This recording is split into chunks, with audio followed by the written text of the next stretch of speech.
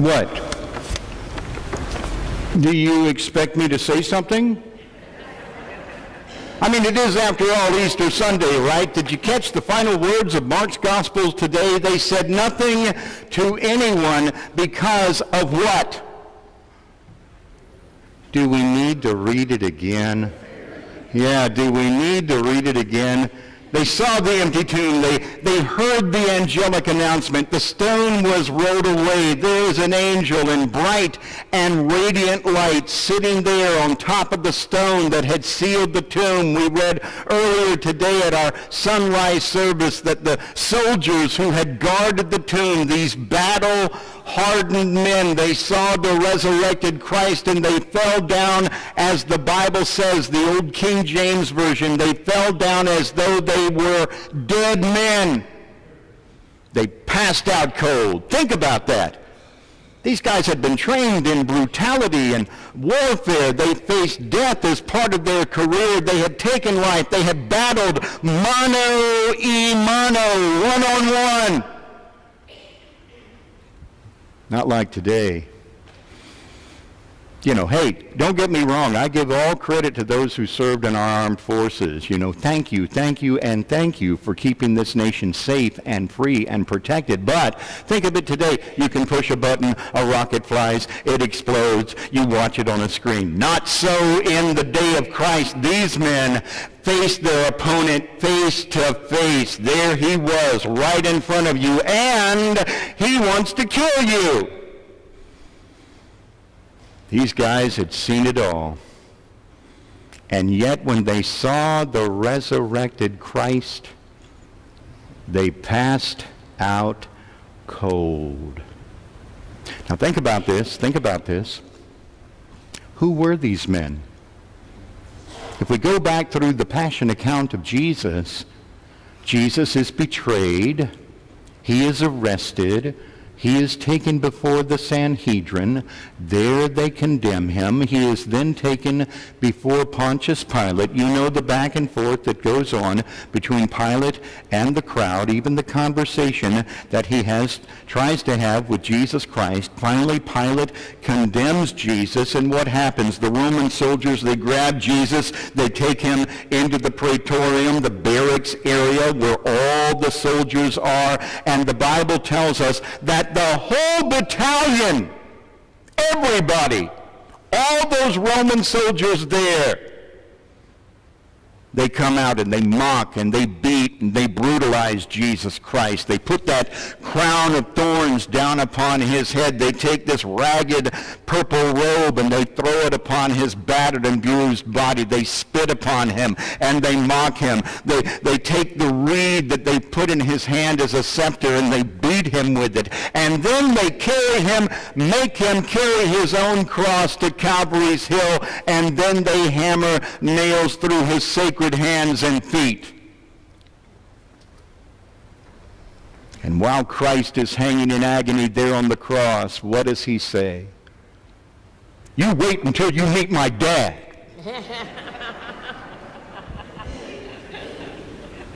Father, forgive them. They don't know what they're doing. Think of that, my friends. These same men who have beaten and brutalized Christ, Christ prays for them, and he prays forgiveness and love upon them. Think about that in your own life. Maybe, maybe, maybe not, but maybe you've got a sin in your life that you struggle with. Does God forgive me? Has God truly washed away all of my sins? When I stand before God on the judgment day, is there that one thing that might keep me out of paradise? How will I explain? What excuse will I give for having committed this sin and this offense and trespass against Almighty God? How embarrassing, how humiliating when God opens that golden book with all of our names printed there inside and he's going to read all of the evil and, and sinful things that we've done in our life, all those skeletons that we've so carefully kept in our closet. Nobody knows. We've carried that burden of guilt and shame for years, maybe even decades. Now all of creation will know because all of creation on the judgment day will be gathered there before God and he will look and he will read and everybody will know just how wicked we are, correct? No. Thank you. No. Concentrate emphatically on the words of John in John, 1 John chapter 1. The blood of Jesus Christ washes away all sin. Not just some sin, not maybe sin, not occasional sin, not small sin. It doesn't matter what you have done. If you have gone to God in heartfelt confession, if you have gone to God in heartfelt repentance, God forgives that sin. Behold, says God, I will cast away your sin as far as the east is from the west, and I will remember it no more. God not only has perfect forgiveness, he has perfect forgetfulness as well. When you and I stand before the throne of God, we don't even have to say a word because Christ Jesus, because of his victory over death and the grave, he is our advocate. He is our mediator. There he will be standing right next to us when we go before God on the judgment day. God, Jesus will look at God and he will say, this one is mine. This one belongs to me. This is the one that I died for. Think about this. Read John chapter 17 this afternoon. John chapter 17. John chapter 17. What chapter out of John are you going to read today? 17, that's called the high priestly prayer. Jesus is facing his agony, his crucifixion. He's in the Garden of Gethsemane. Great drops of sweat are pouring from his head, drops of blood and he's thinking of you. He's thinking of you individually, by name. Read John chapter 17. I pray not only for these, the disciples who are snoozing in the garden. Is anybody snoozing right now? A little bit of nervous laughter, right? Yeah. They'd gone to sleep.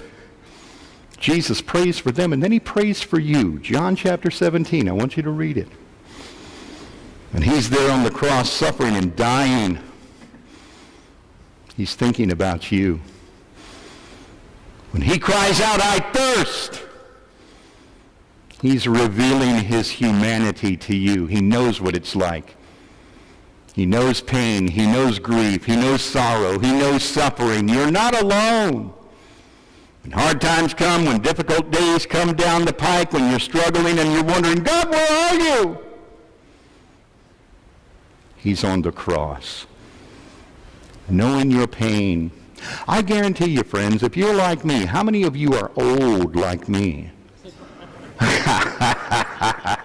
what I've noticed, you know, as I go along in life, when I was a young man and troubles and trials would come, you know, God, God, where are you right now? I've dedicated my life to you. I read my Bible. I say my prayers. I do my devotion. I sing the hymns. God, where are you? What have I done wrong? Why do I deserve this?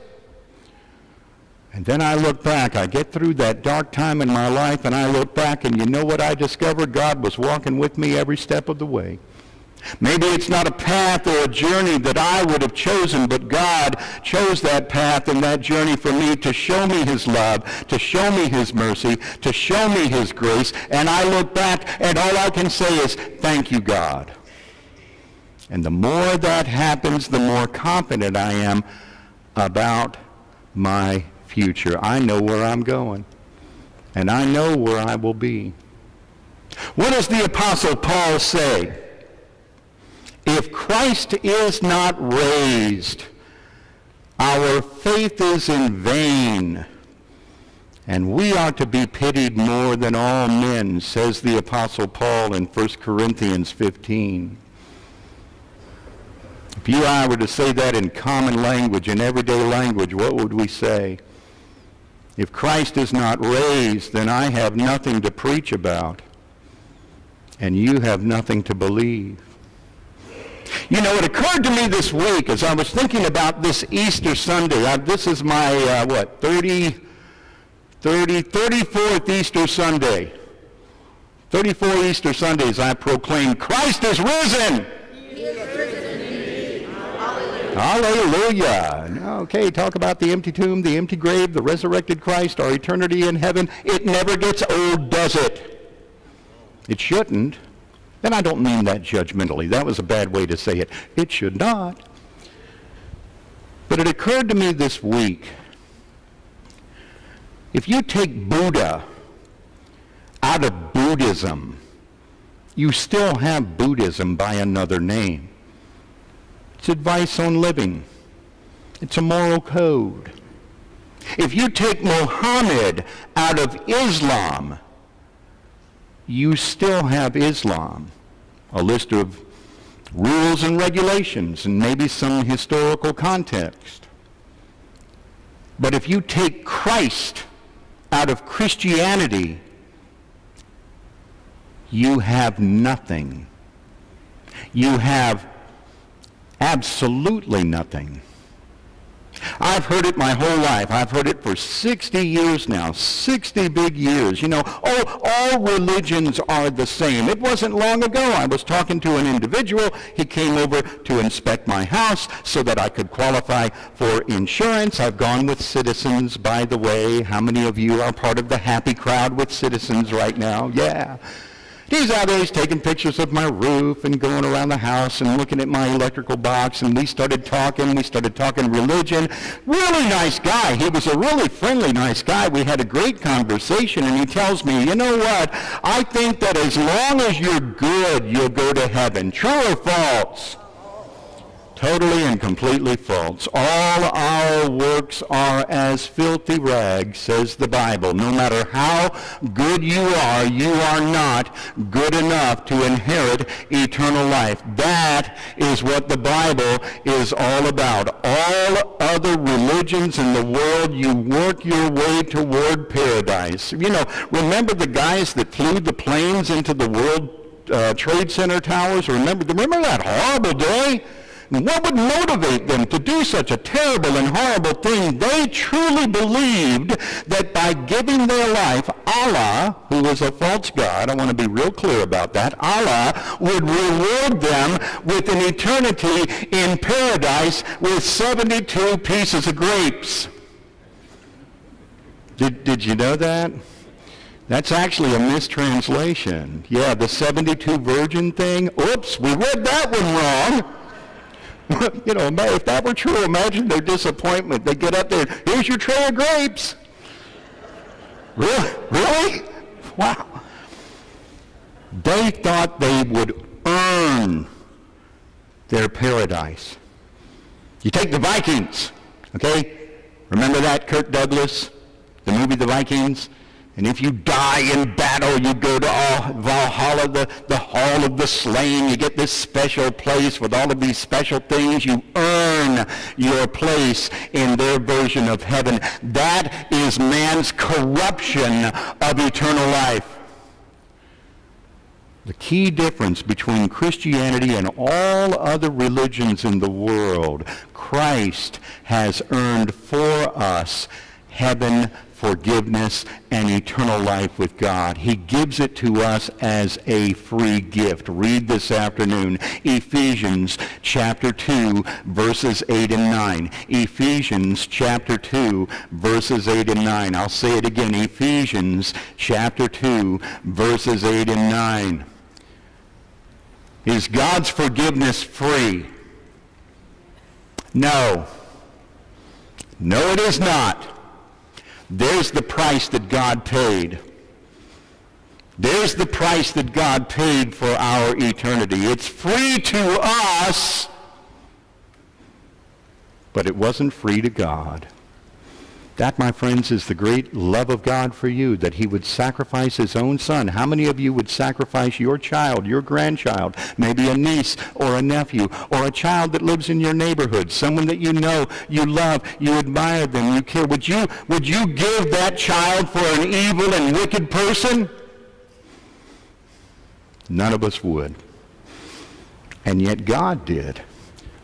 Note the words of the Apostle Paul. While we were yet sinners, Christ died for us. People will look at the Old Testament and they'll deny God and they'll ridicule God. They'll say, how can you believe in a God where all of these horrible things happened, wars and mayhem and murder and strife? How, you know, look at the Old Testament. You know what the Old Testament does? It shows us man's need for a Savior, man's need for a Savior. That's the purpose of the Old Testament, to point to the coming Christ, the coming Messiah. God is not approving of all those things. You want to read about the, the degenerateness of humankind? Read the book of Judges. It gets worse and it gets worse and it gets worse. Why? Because man needs salvation. Man needs eternal life. There's only one way to heaven. A lot of people, well, you know what? There's so many roads as long as you're good, as long as you're sincere you'll get to heaven. There are many paths to heaven. No, not according to what we believe, not according to the Word of God. John chapter 14, verse 6.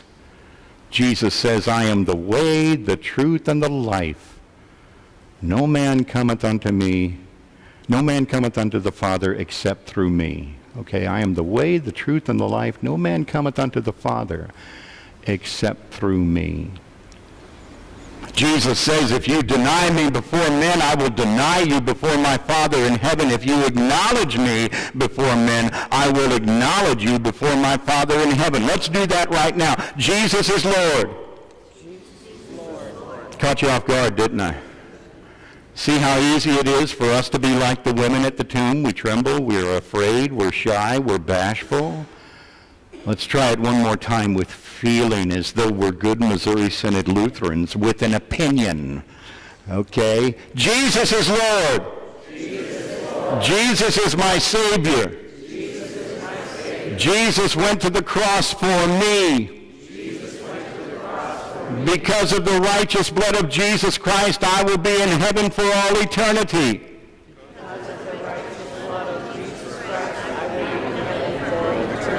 And it's all because Christ is risen. He is risen indeed. Hallelujah. One thing that I really want to impress upon you today.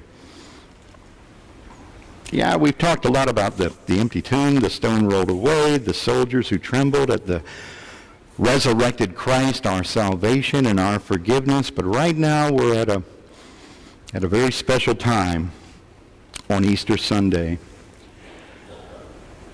all of our loved ones who have confessed Jesus Christ are with Christ now. They believed. They placed their trust, their hope, their faith in Jesus Christ. And when they died, Christ took them to be in paradise. What do we say at so many funerals? Psalm 23, Yea, though I walk through the shadow of death, the valley of the shadow of death, I will fear no evil, for thou art with me. Thy rod and thy staff, they comfort me. We're going to celebrate communion. I pointed this out a number of times, and I never, I never get tired of pointing this out. Oftentimes, when a loved one passes away, we think of them looking down on us from heaven. I remember when my dad was an old, old man. My father died, he was 97 years old. And he told me one time, we were sitting out in the shed at his house. And he tells me, you know, when I die, I'm going to be looking, I'm going to get choked up. I'm going to be looking down from heaven and watching you preach the Word of God. Cool thought, isn't it? Yeah, it's a light. I get choked up when I think, but you know what? Dad isn't watching me right now. My father's enjoying heaven. Because if he's watching me preach the Word of God right now, then he's watching me in the bathroom on, say, a Monday morning. Yeah, maybe he's watching me. How uncomfortable is that, right? Yeah, you never think about that. You know, you're rocking in grandma's chair. Oh, grandma's watching me from heaven, rocking in her chair, or, or sewing on the sewing machine I inherited, or cooking with the skillet that she gave me before she passed. Well, then grandma's watching you all the time, and sometimes that can be just downright embarrassing, right? Just kind of awkward, okay? The only time we gather together with the saints in paradise is here at the communion rail. Just a few short moments, we're going to be celebrating the body and blood of Jesus Christ. The church militant, us, is going to be united with the church triumphant, those in paradise, even as we have said so many times in the communion liturgy, therefore with angels and with archangels and with all the company of heaven. I want you to think about that today. On this Easter Sunday, when you come forward to receive the body and blood of Jesus Christ, naturally you want to think about your sins forgiven. Before you come forward, you want to go to God in heartfelt and honest conversation and confess those sins to him, whatever those sins might be. Come forward realizing that all those sins will be washed away and cleansed and forgotten by the righteous blood of Jesus Christ. But when you receive that wafer, and when you drink that blood of Christ, that wine, think of your loved ones in paradise. Think of those people that you have loved and lost. I hate that expression. Lost. I know where they are. They're not lost. No, we lose the clicky for the television, don't we? We lose our car keys. We lose the lighter for our cigarette. We lose our glasses. Is anybody like me? If you take your glasses off and lay them down and forget where you put them, you can't find them because you can't see? That's me. Yeah, you all are just a blur to me right now. Those are the things we lose. But I haven't lost anybody that I love. I know right where they are. They're with Christ. They're with Jesus. They're with all the company of heaven. Think on that today. Think of the joy that they're experiencing. Think of the happiness, the profound happiness that they have right now if they died of some sickness, some disease, if they died in pain, if they died, their bodies were ravaged, think of the glorified, beautiful bodies that they have right now. Remember when Jesus came out of the tomb? His beautiful body, even though he had been beaten and brutalized on the cross. Think of the existence they have now. No pain, no tears, no trial, no heartache, no worry, no fear think on these things. And it's all because Christ is risen. He is risen indeed. Hallelujah. Hallelujah. And all of God's people say, Amen. Amen. And now may the peace of God, which passes all understanding, keep our hearts and our minds in the one true faith, which is found in Christ Jesus our Lord. Amen. The